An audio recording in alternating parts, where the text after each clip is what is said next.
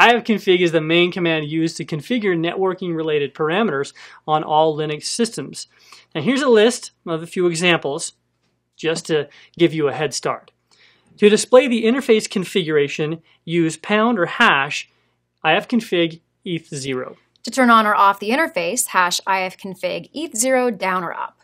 To configure an IP address or default subnet mask, hash ifconfig eth0 192.168.1.2. To configure a non-default subnet mask, hash ifconfig eth0 10.1.1.2. Netmask 255.255.255.0. Now to add a default gateway to the Ethernet 0 interface, hash route add default gateway, put in the IP address eth0. To change MTU for a network interface, hash ifconfig eth0 MTU1000. To enable promiscuous mode, hash ifconfig ethernet 0 promisc. To disable promiscuous mode, hash ifconfig eth0 promisc, and to change the MAC address of the network interface, hash ifconfig eth0 hw ether, and then the MAC address. Now, according to the Linux naming scheme, the first hard drive is called the dash dev dash HDA. Any other partition will have the same name, but with increasing numbers. So if, if we have three partitions, they're going to be called dev HDA1, dev HDA2, and dev HDA3. The Linux hierarchy might seem hard to understand for the first time. Well, the first, first few times. times. That's why you'll need to learn it well and once for all distros. The forward slash is the root directory. Everything falls under this directory. In Windows, a path will look like c colon slash x dash folder.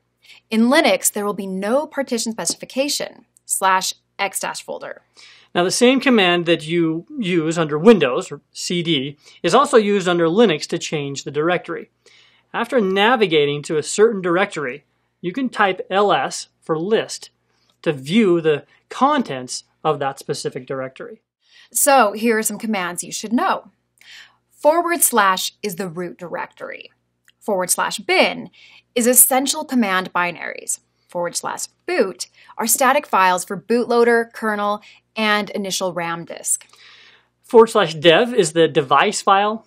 Forward slash etc is the host specific system configuration. Forward slash home is the user home directory. Forward slash media is the mount point for removable media forward slash MNT is the mount point for mounting a file system temporarily. Forward slash root is the home directory for the root user. Forward slash SRV is for data files for system services. Mm-hmm. Forward slash TMP are temporary files. Forward slash USR is the second hierarchy and non essential read only data. Forward slash VAR are variable data files.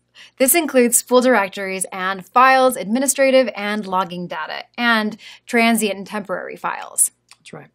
A lot of things to remember. Yeah.